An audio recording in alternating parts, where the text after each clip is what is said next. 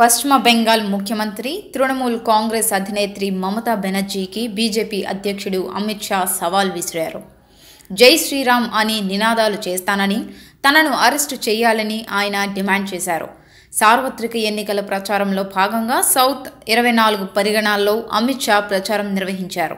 మమతా దీది జై శ్రీరామ్ అంటూ నేను కోల్కతాలోనే ఉంటానని మీకు ధైర్యం ఉంటే తనని అరెస్టు చేయాలని సవాల్ చేశారు. కాగా అమిత్ షా ర్యాలీతో పాటు హెలికాప్టర్ ల్యాండ్ అయ్యేందుకు మమతా సర్కార్ అనుమతి నిరాకరించింది आज बंगाल के अंदर बम धमाके सुनाए थे। एक भी नई फैक्ट्री एक भी नया कारखाना बंगाल के अंदर ममता दीदी के शासन में नहीं आया है कारखाने बने हैं तो केवल और केवल बम बनाने के कारखाने बने हैं बम बनाने